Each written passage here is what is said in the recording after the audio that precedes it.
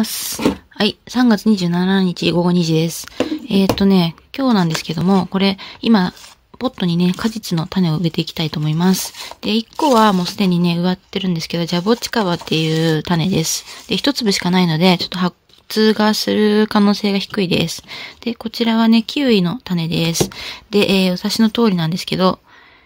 えー、っと、1個前かな。多分2個前ぐらいかな。上げてる動画のタルトにね、乗ってたキウイの種をね、ピックアップして持ってきて洗いました。で、果肉には発芽抑制成分がついてるので、きっちりと落として発、えー、っと、巻くことが大事です。えー、まあね、ワイがね、マッチングアプリやりつつもね、こんなことやってるんで、まあ絶対ね、男性とデート行った時にはね、ケーキの種なんかほじくれないんでね、親と一緒に行ったんでよかったなと思います。で、えー、こちらを、まあ、湿ったね、この培養土の方にね、巻きたいと思いますけど、ちっちゃいんでね、このピンセットで巻きます。で、一応ね、動画で、まあ、自分の記録、微暴録にしてるんで、えー、ちょっとね、粒を数えておきたいと思います。1、2、3、4、5、6、7、8、9、10、11、12、13、14、15、16粒ですね。まあ、このうちね、何粒発芽してくれるんでしょうか。なんかキウイはやっぱ種が小さいので、イチゴと同じようにキッチンペーパーの上で水濡らしつつ、発根するまで、あの、管理して、発根したら土の上に巻く方法もあるんですけど、イチゴはキッチンペーパーでやってるんですけど、ちょっとね、あの、キッチンペーパーだと、いろいろとこう、紙自体を取り替えなきゃいけなかったりとか、あの、ぬめりが出たりして、手入れが結構めんどくさいので、土にね、巻いちゃおうと思います。えー、ということで作業はね、割愛しますけど、えー、16粒ね、キウイの種をまいてみるんで、まあ、発芽率が何パーセントになるかね、どうぞお楽しみにしてください。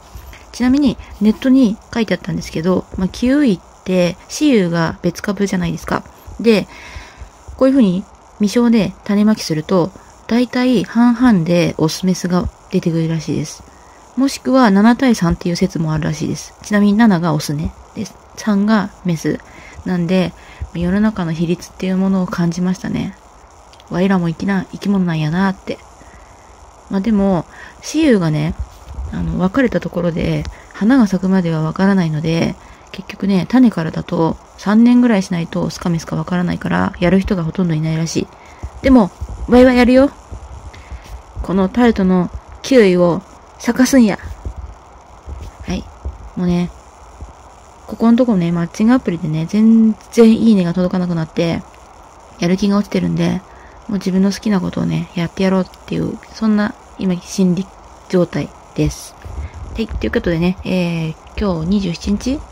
まあ、26ぐらいからもう水につけてたんで、日付はね、26で書いちゃったんですけど、えー、こちらのポットにね、ラベルも書いてありますんで、それで、えー、育てていきたいと思います。はい、じゃあバイバイ。